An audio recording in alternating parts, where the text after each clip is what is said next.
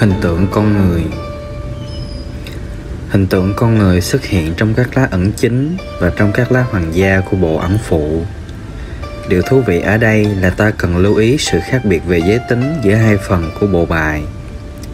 Trong các lá hoàng gia của mỗi bộ ẩn, có ba người đàn ông và một người phụ nữ.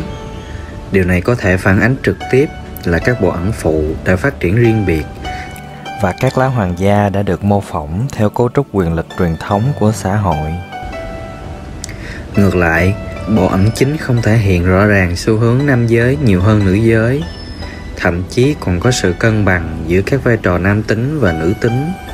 Chẳng hạn như hoàng đế, the emperor và hoàng hậu empress hoặc nữ giáo hoàng the puppet và giáo hoàng the pop cấp bậc bình đẳng của hai giới tính trông rất đáng ngạc nhiên. Nếu chúng ta nhớ lại rằng bộ ẩn chính được thiết kế trong một thời đại rất bảo thủ. Tuy nhiên sự đối lập của nam và nữ là đặc điểm cơ bản của hầu hết các hệ thống biểu tượng truyền thống. Chúng ta có thể giả định rằng mặc dù những người tạo ra bộ ẩn chính không thể hiện xu hướng cơ bản cho việc họ nghiêng hơn về bất cứ bên nào nhưng họ đã có ý tưởng như vậy và tìm cách thể hiện mỗi giới tính sẽ tượng trưng cho những gì. Trong nhiều hệ thống truyền thống, nam tính hay yếu tố dương được gọi trong văn hóa trung quốc, được coi là năng động, cương nghị, tiến về phía trước và hướng ngoại. Bên nữ hay yếu tố âm được coi là thụ động, dịu dàng, chứa đựng và hướng nội. Sự đối lập này có thể được lấy cảm hứng từ hình dạng và chức năng của các cơ quan sinh dục. Được phản ánh trong các hệ thống biểu tượng truyền thống bằng các cặp đối lập khác nhau, phải và trái, bầu trời và mặt đất, mặt trời và mặt trăng, lý trí và cảm xúc, ánh sáng và bóng tối. Tuy vậy, cũng có một số ngoại lệ, ví dụ nam thần mặt trăng và nữ thần mặt trời ở nhật bản. Nguyên tố đầu tiên trong các cặp thường được xem là nam tính trong khi nguyên tố thứ hai được xem là nữ tính. Chúng ta cũng có thể lưu ý rằng, ba lá bài của bộ ẩn chính thể hiện một cặp nhân vật người hoặc nửa người, nửa không phải người, human và semi-human. Trông giống như nam và nữ. Như ta có thể thấy, những cái đầu người bị cắt lìa trong lá bài số 13 hai tiểu quỷ trong lá bài The Devil và hai nhân vật cha mẹ trong lá bài Judgment trong cả ba hình tượng đứng bên phải là tính nam, trong khi hình tượng ở bên trái là tính nữ. Điều này có thể cho thấy rằng biểu tượng học của tarot cũng chấp nhận định nghĩa bên phải là nam và bên trái là nữ. Tuy nhiên, có thể có một số cấu trúc sâu hơn giữa sự giao thoa nam và nữ trong các lá bài. Nếu chúng ta nhìn vào các hình tượng động vật, chúng ta có thể thấy một số cặp trong giống đực và cái nhưng nếu chúng ta cố gắng định nghĩa chúng giống như trên, thì sự sắp xếp của chúng lại đi ngược lại so với hình tượng con người. Hodorowski có lưu ý rằng, trong lá bài The Chariot, con ngựa bên phải trông nữ tính hơn, trong khi con ngựa bên trái thì trông nam tính. Điều tương tự cũng có thể được nói về hai cái đầu cá trong lá bài Two of Cup thậm chí là hai con chó trong lá bài The Moon, khi chúng ta nhìn vào mõm của chúng việc dựa vào các quan điểm truyền thống về nam và nữ dường như đã lỗi thời trong thời đại của chúng ta. Vì vậy, điểm quan trọng cần nhớ là hình ảnh của một người phụ nữ trong các lá bài, không nhất thiết phải đại diện cho một người phụ nữ trong thực tế. Ngày nay, chúng ta nhận thức được rằng bất kể chúng ta thuộc giới tính sinh học nào, đều có trong mình tính nam và tính nữ. Do đó, một hình tượng phụ nữ trong lá bài có thể đại diện cho một khía cạnh nữ tính hoặc một hành vi mà theo truyền thống được coi là nữ tính, nhưng có mặt ở một người đàn ông. Và tất nhiên, một người đàn ông trong lá bài có thể đại diện cho một người phụ nữ trong thực tế. Người có những hành động mà xét theo những quan niệm truyền thống thì đó là nam tính. Do đó, chúng ta có thể dựa vào biểu tượng truyền thống của nam và nữ mà không giả định bất kỳ điều gì về địa vị thực tế mà đàn ông và phụ nữ phải có trong xã hội ngày nay những cân nhắc tương tự cũng được áp dụng cho tuổi của các nhân vật trong lá bài. Một nhân vật trẻ có thể tượng trưng cho sự khởi đầu của một quá trình hoặc những bước đầu tiên trong một lĩnh vực hoạt động mới. Nó cũng có thể đại diện cho sự bền bỉ, sự tự tin một cách ngây thơ hoặc sự hấp tấp. Một nhân vật lớn hơn có thể tượng trưng cho sự trưởng thành, kinh nghiệm và sự tiết chế, nhưng phẩm chất này có thể mô tả tính cách hành vi hoặc vị thế của cô rình, bất kể tuổi tác về mặt sinh học của họ. Trẻ em và động vật cũng vậy, có thể tượng trưng cho các khía cạnh của tính cách và hành vi. Hình tượng một đứa trẻ trong lá bài có thể thể hiện những phẩm chất của trẻ thơ như tính ngẫu hứng, trí tưởng tượng, vui tươi và cả sự thiển cận, tầm nhìn ngắn hạn. Động vật có thể đại diện cho trạng thái nguyên thủy và hành xử theo bản năng. Các hình tượng động vật cụ thể có thể đại diện cho các đặc điểm tính cách và hành vi gắn liền với loại động vật này theo các quan niệm truyền thống. Ví dụ, một con sư tử có thể tượng trưng cho sự dũng cảm, quyền lực và sự nguy hiểm. Một con đại bàng có thể tượng trưng cho nhận thức sắc bén hoặc khả năng bay cao, có được góc nhìn toàn cảnh hơn những kẻ ở mặt đất.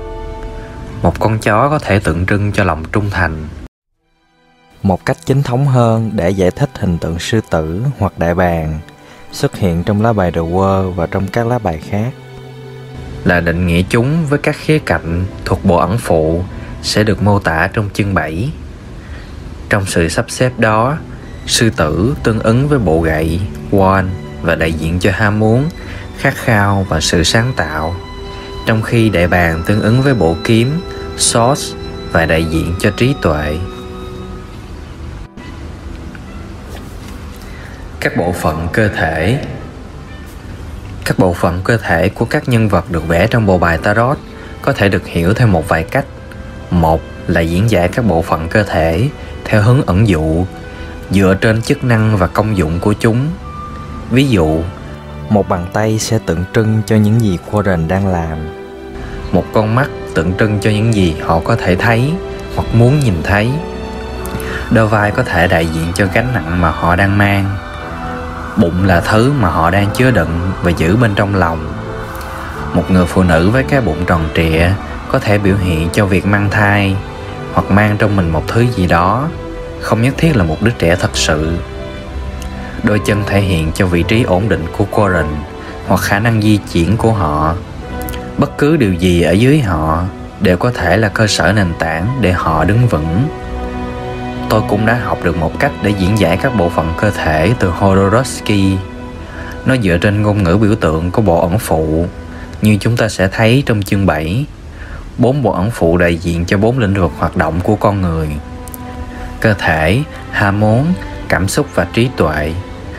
Bốn lĩnh vực này tương ứng từ dưới lên trên với bốn bộ phận trong cơ thể con người chân xương chậu ngực và đầu khi chúng ta nhìn thấy một hình tượng trong các lá bài, chúng ta có thể kiểm tra tư thế, vị trí và vẻ ngoài của từng bộ phận, cũng như mối liên hệ và sự phối hợp giữa chúng.